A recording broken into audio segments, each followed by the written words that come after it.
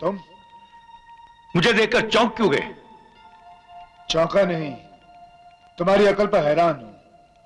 अगर मुझे यहाँ बुलाना ही था तो कविता का सहारा लेने की क्या ज़रूरत थी? मुझे मालूम था कि मेरे बुलाने पर तुम यहाँ कभी नहीं आते।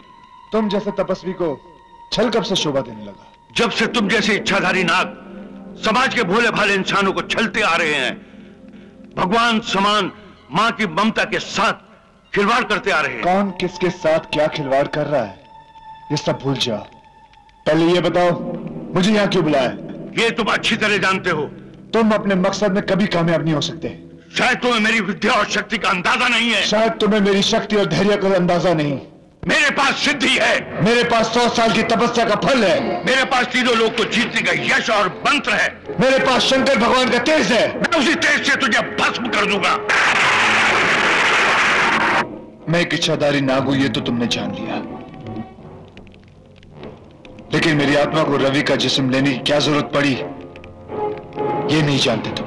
यही तो मैं जानना चाहता हूँ ये राज जानने का अधिकार तो मैंने अपनी आत्मा को भी नहीं दिया। मेरी आत्मा भगवान को साक्षी बांधकर तुम्हें एक वचन देती है। मेरे सीने से मेरा दिल तो निकल सकता है मगर तुम्हारा राज नहीं।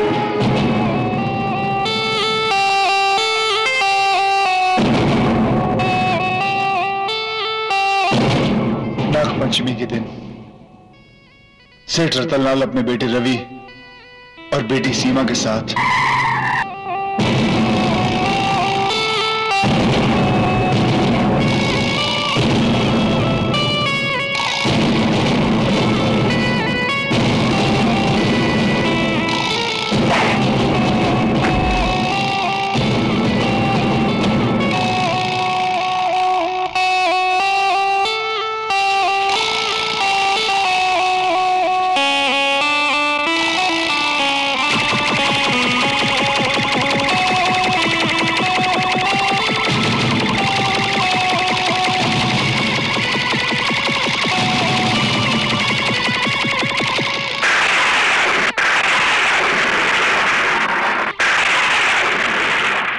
इसी तरह उन शैतानों ने एक ज़मीन के छोटे से टुकड़े के लिए